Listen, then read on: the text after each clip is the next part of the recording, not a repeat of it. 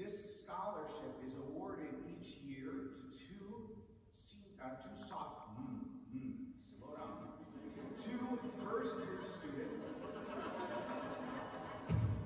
And the award takes effect during their sophomore year.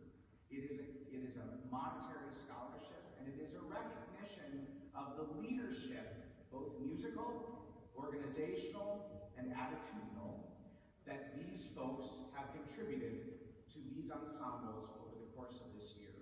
Each of us are going to take a moment to talk about our recipient and name the recipient. We ask that you hold, uh, that you, you can recognize each of the recipients in turn, but both will stay up here after their awards are presented. So over the course of this year, I've gotten to know some of these people quite well. and um, I ought to preface this by first saying that if I had a lot of money, I would give them so many scholarships because these people come into the room not only with lovely voices, but also vivacious personalities and generous hearts.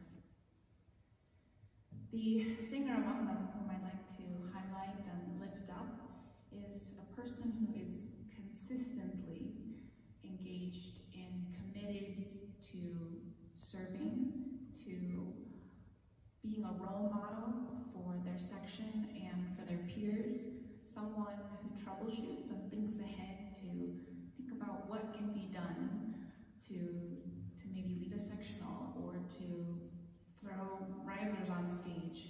In other words, to do more work. This is a person who is wholly committed to the joys of music making, whether they're singing in choir or playing in the concert band or even composing new music.